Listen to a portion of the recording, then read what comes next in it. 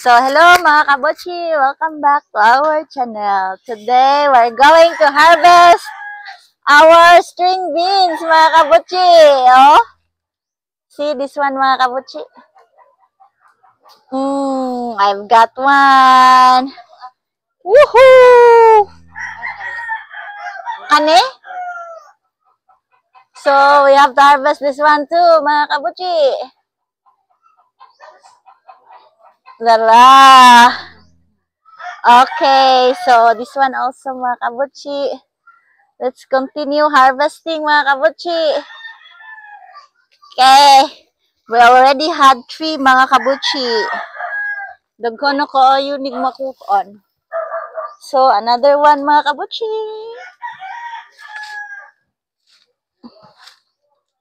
So, I got four.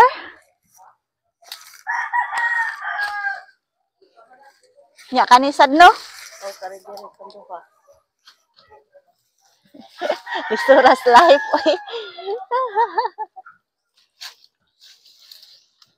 Ikaw na lang nas gawas. Eh, di na ko mo gawas. Okay, so kuha na tanan. Kuha na ni, 2, 4, 6 na ni. Oh, kuha ano na siya.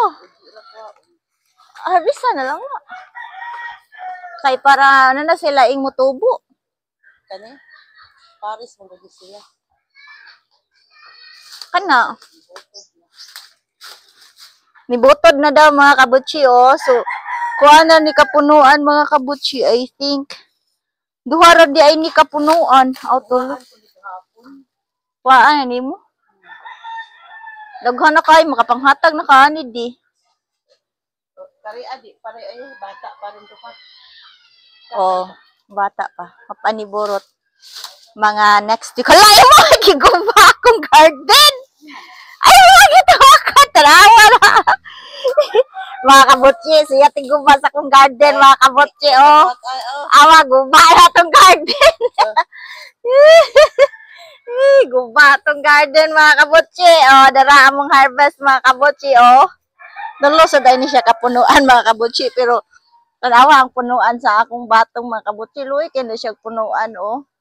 Nga, ang usa, dara, oh, yung punuan, daot kayo. Pero, why bubo, mga kabutsi. Bubuan, tanina ko akong garden. o, dyan, inimutan na, no? Aw, gawas na diri. So, we're done harvesting. It's the end of our video. Thank you for watching. Bye-bye.